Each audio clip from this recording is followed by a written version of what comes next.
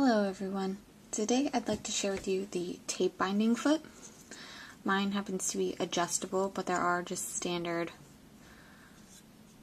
quarter inch, half inch, etc. type feet. You can see the screw here. If I turn this little wheel, it adjusts, it'll move the guide larger or smaller depending on what I need what I'm going to show you is the biggest size, so we're going to turn him all the way out. Mine is also a snap-on foot, so it's really easy to assemble, but I wanted you to see, you might have to look at the pictures, but this piece of plastic on the bottom has an opening right here where I could slide my fabric in between, and then my binding tape actually goes in this slot It'll fold in half and one edge will go in the groove on the top and the other down here. So, I'm gonna take, this is a piece of double fold quilt binding, just straight from the package. And I'll show you what I mean. One edge will go on the bottom other edge on the top and then you just slide it through. It'll come out on the bottom of the presser foot. And you can see it just slides along in that little channel.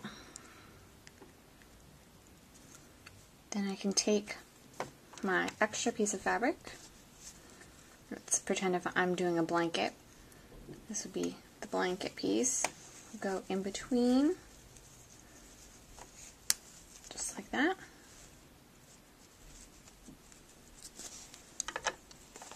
And then I have a sandwich binding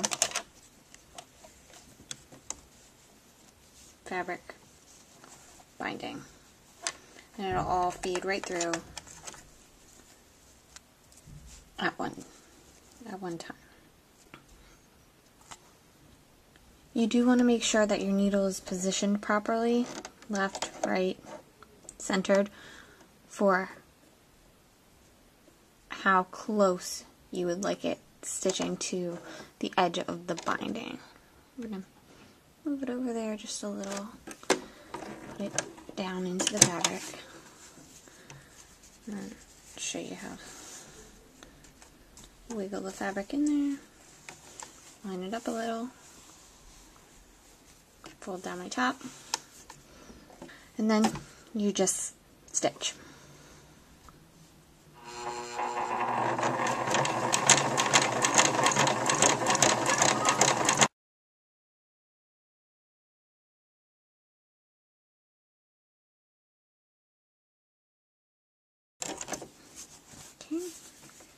And you can see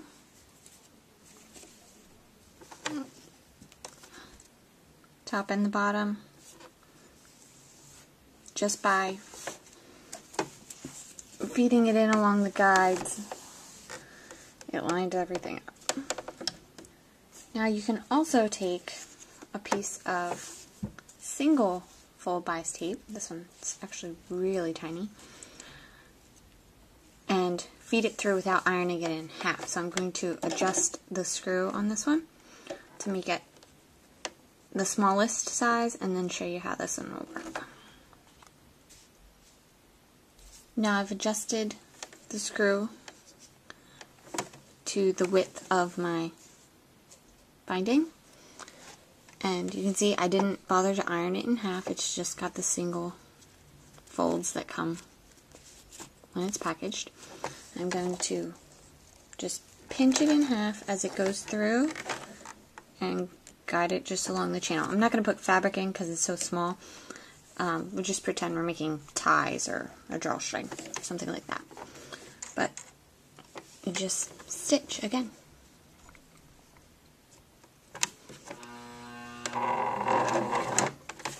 After you put the presser foot down.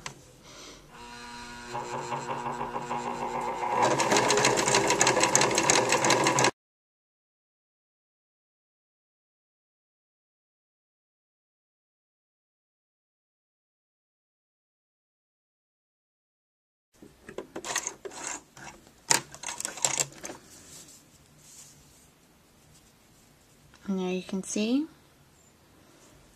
it folded in half for me and stitched it closed. I could have had my stitches a little further. There we go. A little closer to the edge, but you get the idea. The only thing I suggest is to make sure that you're screwed over, you have the, the guide screw over as close as possible to the tape that you're feeding through because if there's if it's just a little too large it can wiggle around in there a bit. But that's it as long as you make sure that you adjust it properly. It's a pretty cool addition to your presser foot collection. Remember if you have any questions feel free to leave me a comment or send me an email and I will do my best to help you out thanks for watching and happy sewing!